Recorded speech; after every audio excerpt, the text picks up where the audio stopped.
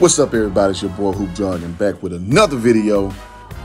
Before I get into the content, you know I gotta get the YouTube stuff out the way. Man, if you could like, comment, subscribe to the channel. You know, we crossed recently a thousand subscribers. I couldn't think of the number. I was gotta say a million. Nah, I ain't there yet. Shout out to Kevin Sanders, man. Uh, so uh, we were at, actually at a thousand point oh three, which means 35 plus of y'all are taking me way over the subscriber count. And I really appreciate y'all, man. So y'all take a moment, go ahead and hook me up. I would very much appreciate that. All right, now let's get into the content now. I told y'all I'm gonna cover more than just Jackson State, this HBCU lane, and I gotta show big props to my school, Prairie View A&M University. Yeah.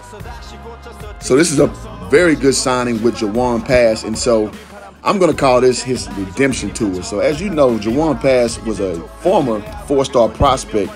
He also was the number 10 quarterback, number 191 overall um, prospect, according to scout.com.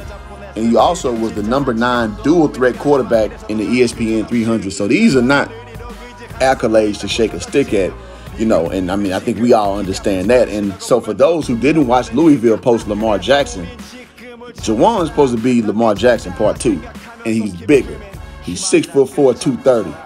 Now he had a lot of issues. If you kind of chronicle his career, um, in 2016 he started off as a red shirt, no shame in that.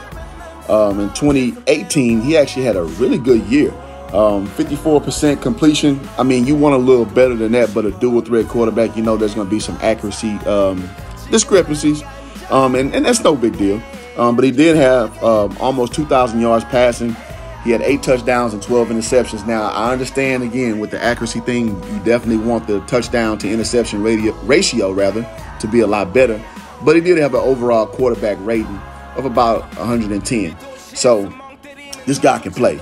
And that year, he also played 11 games with nine starts, having pretty good performances against Notre Dame and Alabama if you go to the film. So you know, uh, he's a guy who's gonna go out here to Prairie View, you you know, and on the SWAC level. Which I will say this: the SWAC is, is fairly loaded up, man. So the SWAC of old, with a lot of, you know, I mean, if we gonna keep it a beam, let's talk about how it is. A lot of penalties, a lot of um, undisciplined in certain spaces, but the overall talent pool is about to, you know, it's been jumping up. So um, I'm really, really, really looking forward to see how he responds to that. And I'm just saying, last time we had a quarterback from Louisville, Kentucky was KJ Black. You know, the offensive, uh, the co-offensive coordinator actually at FAMU now. But in 2009, he came over from Western Kentucky over to Prairie View, and we only, you know, won a SWAC championship. You know what I'm talking about? So if Jawon wants to keep the KJ legacy going, by all means, my brother, do that. We need that over there. So to kind of again chronicle his career in 2019, he did have a season-ending um, surgery. Uh, he got injured against Notre Dame. He tried to come back again against Eastern Kentucky and re-aggravated, and so he kind of took the L from there. So, and that's why I'm saying this is going to be his redemption tour. So you start out very ballyhoo. You're supposed to be Lamar Jackson 2.0, and we know what Lamar Jackson's doing right now. He was only what your 2020, I'm sorry, 2019 NFL MVP. You know what I'm saying? As a uh, Manny Frazier say, you underdid.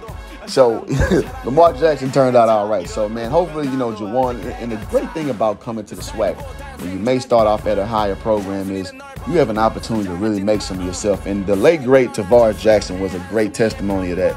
You know, he started off at um, Arkansas, transferred over to um, Alabama State, and uh, he only went on to what the, the, National Football League. You understand what I'm saying? He was the successor to Brett Favre. If you guys don't know his story, for the Vikings, and that's, we talking old Brett Favre when he went over to the Vikings. So there's a great, I mean, there's precedence for this type of situation, and I'm really glad to see him coming. And that's a little bit of, uh, confusion because uh, Jawon actually committed to Towson initially, but he entered the transfer portal in uh, late April. So it's um, nobody really knows why he did that, but hey, I ain't worried about all that. I want to see him in that purple and gold so we can give Jackson State a run for their money. So I'm excited about this.